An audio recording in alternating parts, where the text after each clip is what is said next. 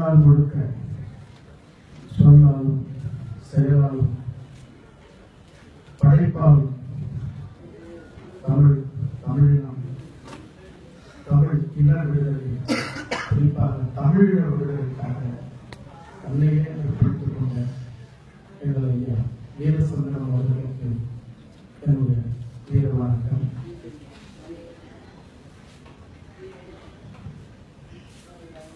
சொல்ல முடியாத ஒரு அலை வரிசையில் நான் தத்தளிச்சுட்டே இருக்கு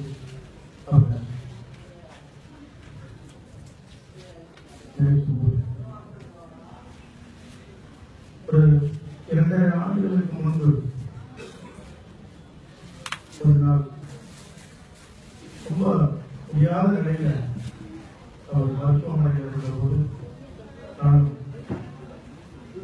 என்னுடைய நண்பர் மணிவண்ணன் அவர்கள் மருத்துவமனைக்கு போய் பார்த்தோம் அவருடைய அந்த கம்பீரமான முகம் அழிந்து சிதைஞ்சு மீசை இல்லாத தாடி இல்லாத தலைமுடி இல்லாத ஒரு மனிதரா? மூச்சையற்ற நிலையில் படுத்திருந்த போதுதான் நான் போய் பார்த்தேன். பெரும்பான்மையானவர்களுக்கு என்ன நிலையில் கூட அவர் பத்தின நிலை தெரியாத ஒரு சூழல் ரெண்டரை ஆண்டுகளுக்கு முன்பு போய் பார்த்துட்டு ஒரு நாள் இரவு பதினோரு மணி. பார்த்த உடனே கூப்பிடணும் எழுப்பணும் கையை பிடிச்சு ஆட்டணும் எனக்கு இமை கூட அசை.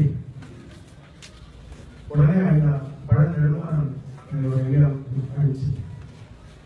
ஐயா இன்னைக்கு இரவு வரைக்கும் தான் அவருக்கு பேர் வீரசந்தானம் நாளைக்கு அந்த பேர் இல்லாம போயிடும். அப்படின்னா அந்த வார்த்தையை தான் சொல்லணும். என்ன இப்படி சொல்றீங்க உடனே அடுத்த நாள் காலையில் நம்முடைய ஐயா பல நெடுமாறன் அவர்கள் எம்என் அவர்களுக்கு பேசி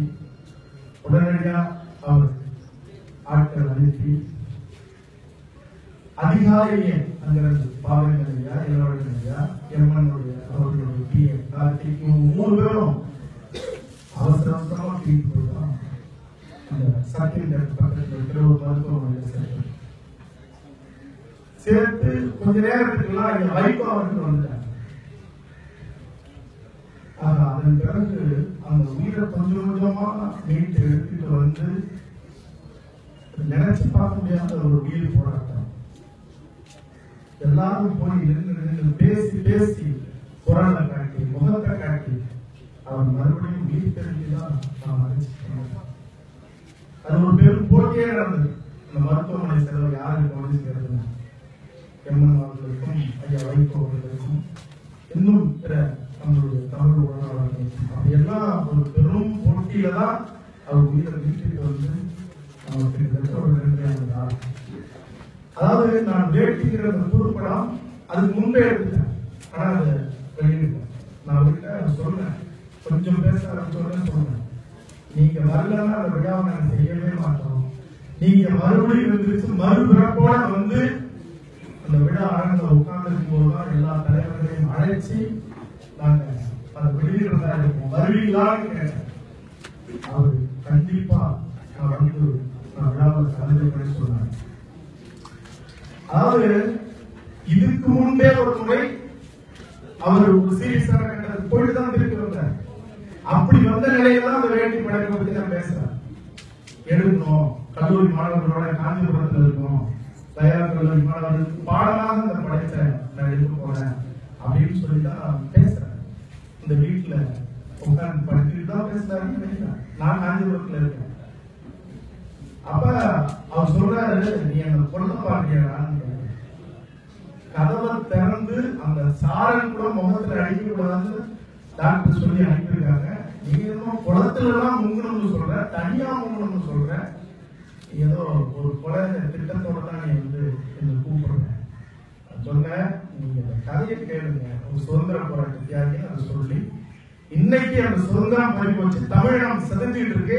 எந்த சுதந்திரம் வாங்கி கொடுத்தோமோ அந்த இந்த தேசமே தமிழினத்தை கொண்டு சொல்லி கடைசியில அந்த கிழிஞ்ச வேட்டியோட நிற்கிற அந்த வயதான சுதந்திர போராட்ட தியாகி இந்த தேசத்தை கிழிக்கிறது தான் அதனுடைய இறுதி பகுதி அப்படின்னு சொல்லி சுதந்திர தேசமாடாது காலை துப்பணும் அப்படின்னு சொன்ன உடனே உடனே சொன்னார் என் உயிரே போனாலும் இதை நடிச்சுட்டு நான் செத்து போறேன் அப்படின்னு சொல்லி ஒரு பைசா கூட வாங்காம தன் தானே வந்து அதுக்கு வாடகை கொடுத்து சாருக்கு வந்து நடிச்சு கொடுத்துட்டு எனக்கு எப்போதும் தான்.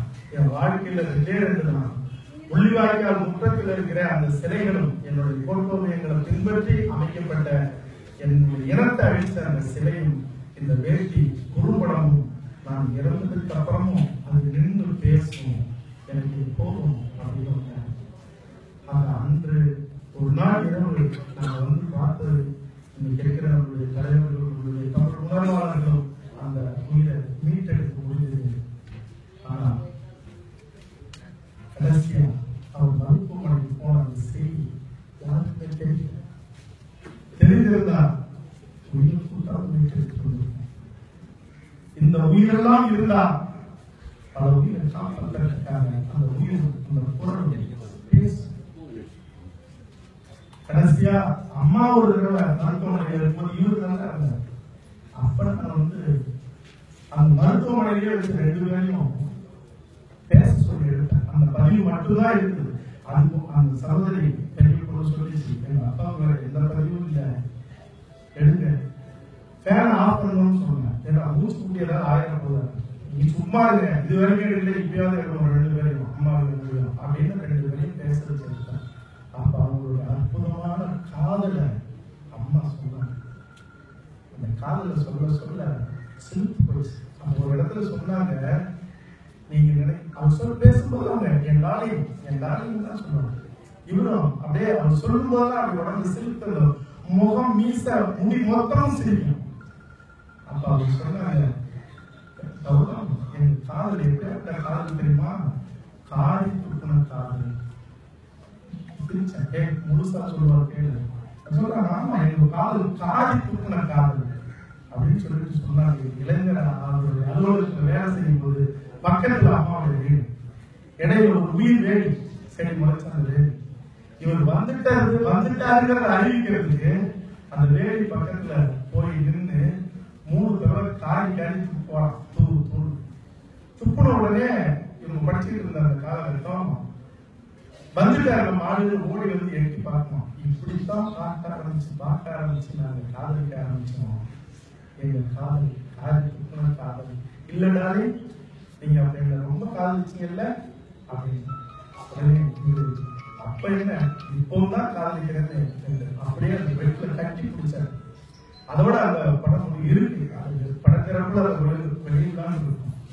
ஆனா அப்படியாப்பட்ட மனிதர் தன்னுடைய காலம் முழுக்க அவர் அம்மா இந்த உடல்நிலை சரியில்லாத நேரத்தில் கூட ஓடி வந்து மின்னல் மாதிரி நின்று பேசி தமிழ் இனத்தை இளைஞர்களை தட்டி எழுப்பிட்டு ஒரு மின்னல் கூட பறந்து முடியல. காத்துக்கிட்டு இருக்கிறார் யாரும் வண்டி வச்சிருக்கல நம்மளுக்கு விடுங்கலாம் சொல்ல மாட்டார்.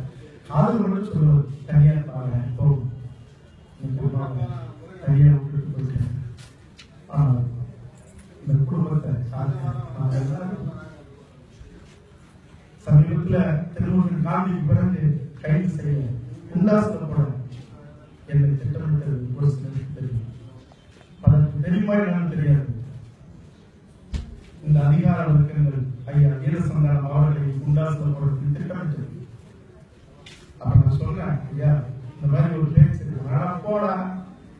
இந்த தேசத்துல எங்க இருந்தாங்க? வெளியில இருந்தாங்க சிறையில இருந்தாங்க. தூங்கி போடுறவங்க பார்த்துக்கலாம் அப்படின்னா. கடைசி வரைக்கும் அந்த அந்த தமிழ் திமிர் அந்த அறம் அந்த நேர்மை யாருக்கும் மஞ்சள் அந்த குணம். அதுதான் பல முறை இந்த வீட்டுக்கு வந்தா நான் சாப்பிடாம என்ன அனுப்ப மாட்டேன். ஒரு இந்த கொஞ்சம் கொஞ்சம். சாப்பிட வச்சு தான் ஒரு நாள் நிறைய முரண்பாடு தான் வரும். அவரும் கொஞ்சம் சூடு நானும் கொஞ்சம் சூடு. திடீர்னு அது பிரச்சனை கோபமா பே- பேச ஆரம்பிச்சோம் ஒரு நாள் அப்படி போச்சு. அப்படியே இருந்துச்சு அப்படின்ட்டு நான் போயிட்டேன். இனிமே அவர் உங்கள்கிட்ட பேசுவாரா? என்ன? என்னமோ ஒரு இது அப்படி ஒரு விவரம் ஆயிடுச்சு போயிட்டேன். மனநிலை சரியில்லை. நான் நல்லா இருக்கும் நினைச்சேன். என் தாய்க்கு சமமா என்ன நினைக்கிறேன்? விரல் விட்டு என்ன புரியல எனக்காக ஒரு படம் ஏற்படணும் அந்த படம் நான் பேசி பேசி பல முறை போய் உட்கார்ந்து அவன் சும்மா பேசி கேட்டுருந்தான் இருந்தான் பொருளத்தை தெருவில் போல இருக்கு. அந்த திறமை வீணா போதும் அது இந்த மண்ணுக்கு பயன்படணும் படிப்பு செய்யணும் போய் ஒரு பெரும் ஒரு பெரும் பெரும் செல்வந்தர் ஒருத்தர் மரியாதைக்கு ஒருத்தர் பேசி அந்த படைப்பு செய்யறத அந்த படைப்புல அவர் நினைக்கிறத அப்படி ஒரு நாள் வாரம் ஏற்பட்டு போயிட்டேன் தப்பையா அப்படின்னு. அவருக்கும் அவரும் அவரும் சீக்கிரமா இறங்கி வர மாட்டார். சொல்லி உட்கார்ந்து சாப்பிடல நீங்க ராத்திரி. children which are having everything. So, uh, Sakya.